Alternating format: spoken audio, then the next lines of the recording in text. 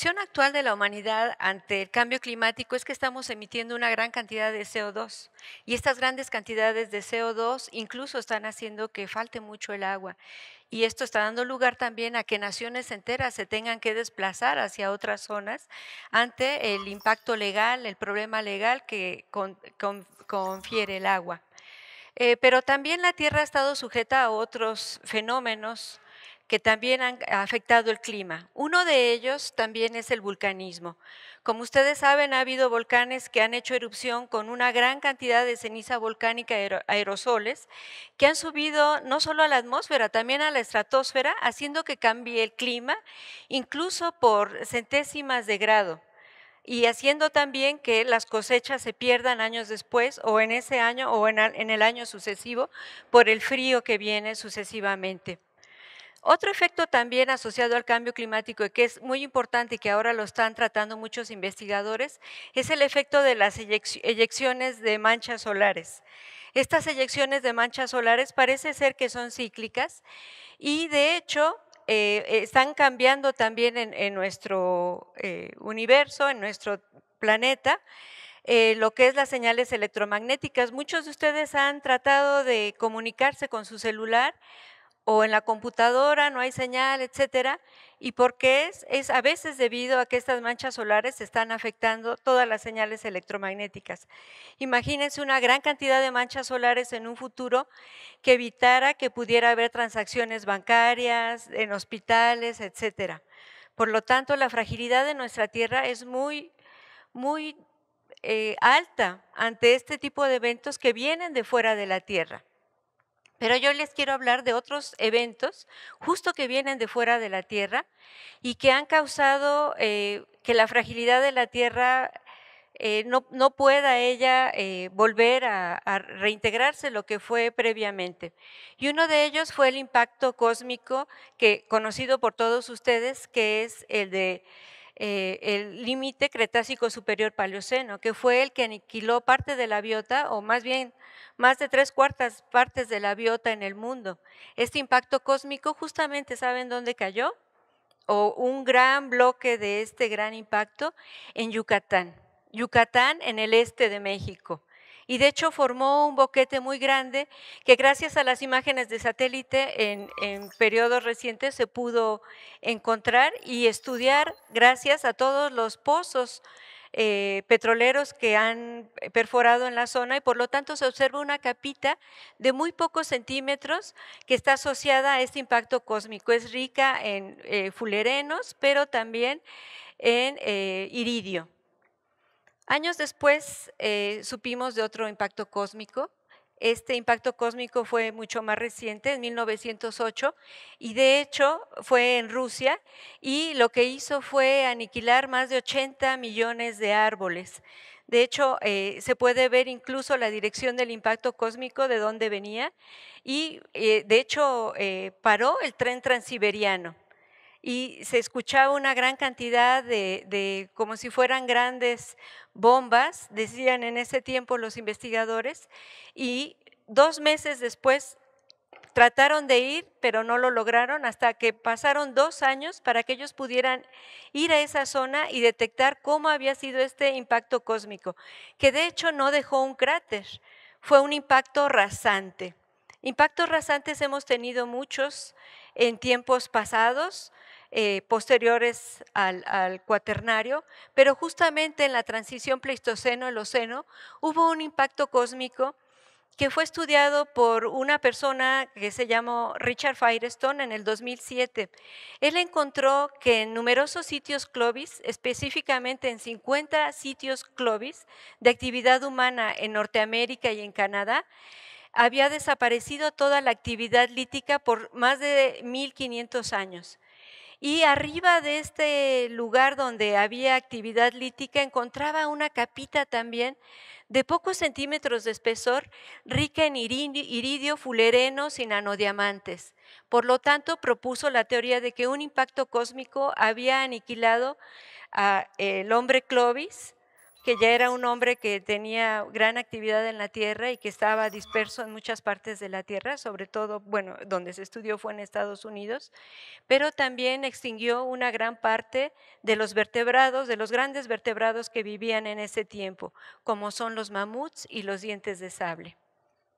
Justo unos años después, otro investigador, Patayeb, encuentra en los núcleos de hielo de la Antártida Imagínense en la Antártida todo este cuerpo blanco, precioso, la misma capita negra.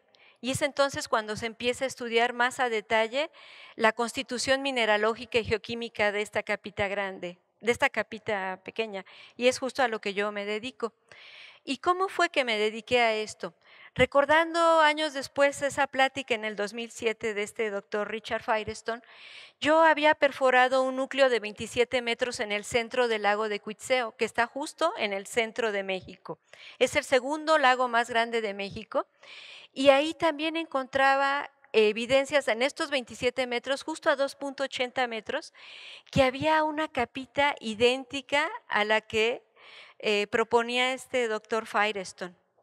Pero esta capita yo tenía que estudiarla a detalle porque de hecho subía muchísimo el nivel del lago de Cuitzeo justo en ese momento. A través de 100.000 años de historia del lago, solamente en ese momento, en el centro del lago de Cuitzeo, se observa que hubo una gran combustión que eh, juntó una gran, gran parte de material carbonizado, pero también en ella había unas esférulas preciosas. Al inicio yo pensé que estas esférulas eran parte de las gotitas que quedaban pegadas en la resina cuando yo montaba mis muestras de diatomea. Sin embargo, no, al verlas más a detalle me di cuenta que eran unas preciosas esférulas. Aquí vemos algunas de las esférulas, algunas están unidas entre ellas por efecto de este choque de la estratosfera hacia la atmósfera y fusionadas entre sí, ya que la colisión causa eh, mucho caos en la estratosfera. Algunas sí se les logra ver la dirección que traía eh, eh, el impacto cósmico cuando entró lateralmente a la Tierra, pero también encontré otra cosa, que son nanodiamantes. Los nanodiamantes para que se formen necesitan temperaturas mayores a 3200 grados centígrados. Estas temperaturas son mucho, mucho más altas que las em, temperaturas emitidas por una erupción volcánica. Y ahí en medio pueden ver también las esférulas eh, y también encontré partículas de carbón muy redondeadas que eran efecto de este gran eh, impacto cósmico. Y solamente en ese nivel, un pico muy grande a 2.80 metros. Sucesivamente, yo seguí trabajando y encontramos eh, junto con otros países, nos juntamos un grupo de investigadores y vimos que este impacto cósmico también estaba en otros sitios, en Siria, en Venezuela, en España, en Bélgica. Y pues fue cuando yo dije, no puede ser que el impacto cósmico haya caído solamente en una parte de, de, nuestro continente, en el hemisferio norte. Tuvo que ser algo intercontinental e interhemisférico. Y es cuando publicamos eh, y ya eh, definimos cuántos millones de toneladas habían caído en distintas partes del mundo hace 12.800 años. Y como ustedes pueden ver, pues esta capita justamente tiene una abundancia de esférulas en Siria, en Europa, en Estados Unidos y México, con una gran cantidad de esférulas y con un espesor eh, de la capa muy, muy, muy, muy fina. Entonces yo me pregunto, ¿qué pasará si eh, viniera un impacto cósmico de este tipo? Pero ¿cómo es la dinámica de este impacto cósmico? Bueno, viene la onda de choque, produce un, eh, eh, el aire lo desplaza, viene una gran cantidad de, una detonación muy grande por este desplazamiento de aire, viene la pirolización y esta pirolización viene con una gran cantidad de partículas sobrepresurizadas con altas temperaturas con vientos súper recalentados y entonces es lo que causó en muchas partes del mundo esta combustión espontánea y de hecho dio lugar a que se extinguieran gran parte de los vertebrados, se extinguió el clovis, pero también se extinguió mucha de la flora en la Tierra. ¿Qué pasaría si nosotros tuviéramos un impacto cósmico, que son impactos que no se esperan, ahora en la Tierra. ¿Cómo podríamos nosotros controlar estos fulerenos, estas grandes cantidades que, vienen de material eyectado, estas altas temperaturas? ¿Estamos eh, dispuestos, estamos eh, adaptados? ¿Tenemos ya previsto dónde podríamos escondernos, qué podríamos hacer?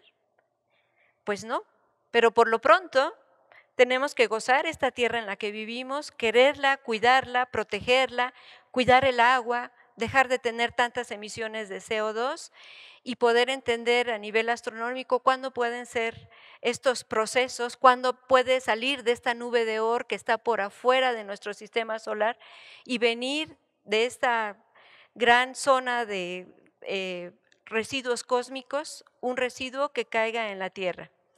Y pues tenemos, por lo tanto, que cuidar nuestra Tierra y amarla porque es lo único que tenemos como planeta para poder vivir.